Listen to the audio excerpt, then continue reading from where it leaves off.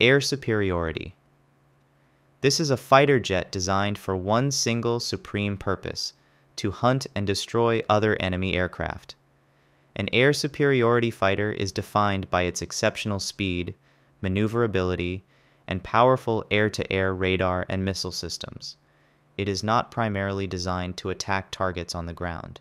Its job is to achieve total control of the sky, clearing the way for all other friendly forces to operate without threat from above. The American F 15 Eagle and F 22 Raptor are the definitive examples of this type. Multi role fighters. This is the workhorse of a modern Air Force. A multi role fighter is a versatile aircraft designed to perform both air to air combat and air to surface attack missions effectively. Unlike a pure air superiority fighter, these jets are equipped with the advanced systems needed to employ a wide variety of bombs and missiles against ground targets. This flexibility allows a single aircraft type to handle many different tasks, making them incredibly efficient. The American F 16 Fighting Falcon, FA 18 Super Hornet, and F 35 Lightning II are premier multi role fighters. Close support. This is an aircraft specifically designed to attack ground targets, often in direct support of friendly troops on the front line. The defining feature of a close air support aircraft is its toughness and ability to loiter over a battlefield. They are heavily armored, can fly low and slow, and are built around a massive cannon or a large payload of bombs and rockets. Their job is to destroy enemy tanks, artillery, and fortified positions with precision. The American A 10 Thunderbolt II, affectionately known as the Warthog, is the most famous example. Gunships. A gunship is a unique and fearsome close air support platform.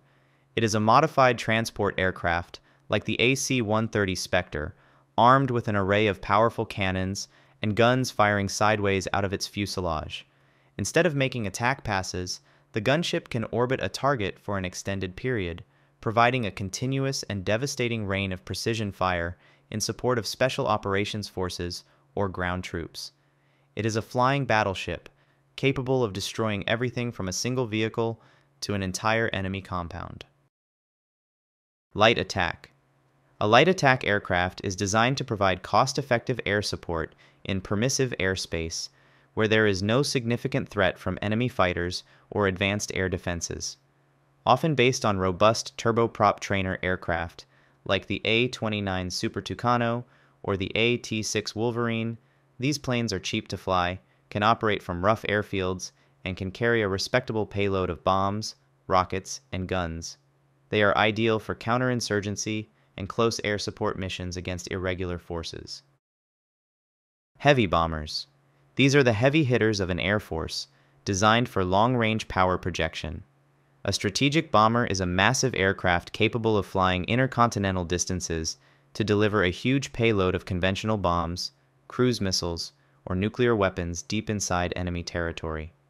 They are not meant for dogfighting. Their defense is their stealth, high altitude, or advanced electronic countermeasures. They are a tool of strategic deterrence. The American B 2 Spirit stealth bomber and the historic B 52 Stratofortress are the prime examples. Air tankers. These are the flying gas stations that give an air force its global reach. An aerial refueling tanker is a large aircraft, often based on a commercial airliner, that is equipped with specialized pods and booms to transfer fuel to other aircraft in midair. This allows fighter jets, bombers, and transport planes to fly much farther than their internal fuel would allow, enabling intercontinental deployments and long duration combat patrols. The American KC 135 Stratotanker and the new KC 46 Pegasus are the workhorses of this fleet. Airlift. These are the logistical backbone of the military. Transport aircraft are designed to move troops, equipment, and supplies around the world. They range in size from smaller tactical airlifters like the C 130 Hercules, which can land on short, unprepared dirt runways, to massive strategic airlifters like the C 17 Globemaster III and the enormous C 5 Galaxy, which can carry multiple main battle tanks or hundreds of soldiers across oceans.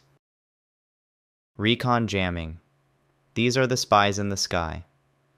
This broad category covers any aircraft whose primary mission is intelligence, surveillance, reconnaissance, or electronic warfare. This includes AWACS aircraft like the E 3 Sentry with its massive rotating radar dome, which acts as an airborne battle command post. It also includes highly secret signals intelligence planes like the RC 135 rivet joint that listen in on enemy communications, and electronic warfare jets like the EA 18G Growler that jam enemy radars. Command posts.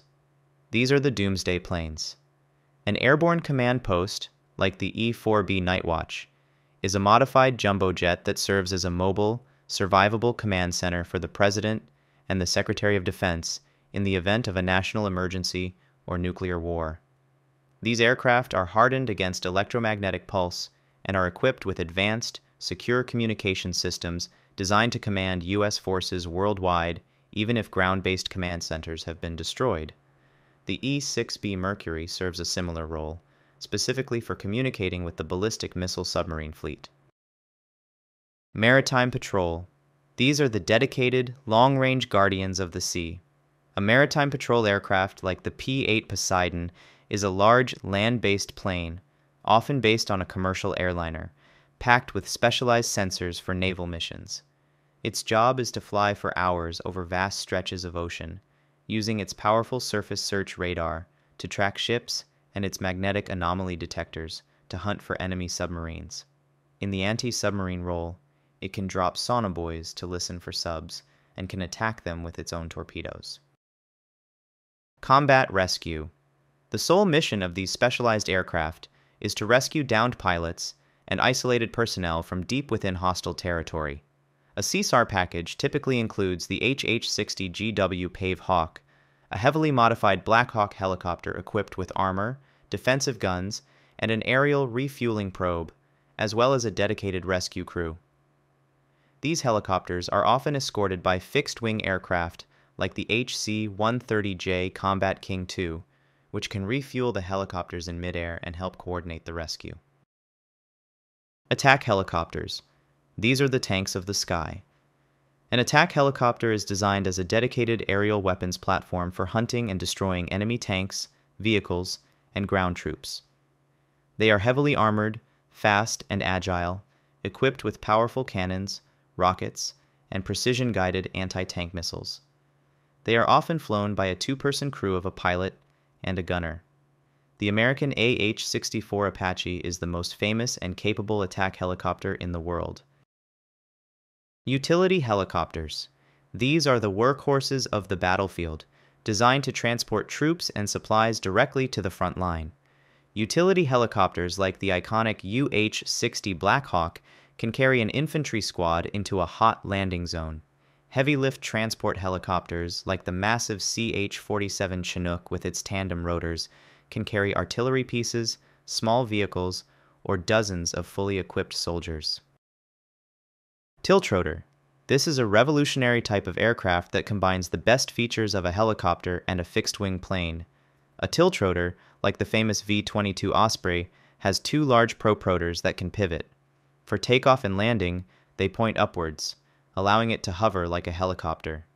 Once airborne, they tilt forward to act like propellers, allowing it to fly with the high speed and long range of a conventional turboprop aircraft. This unique capability gives it unparalleled flexibility for long range special operations infiltration and cargo transport missions. Drones. This is a vast and growing category of pilotless aircraft. It includes large strategic ISR platforms like the high altitude RQ 4 Global Hawk that can survey vast areas for over 30 hours.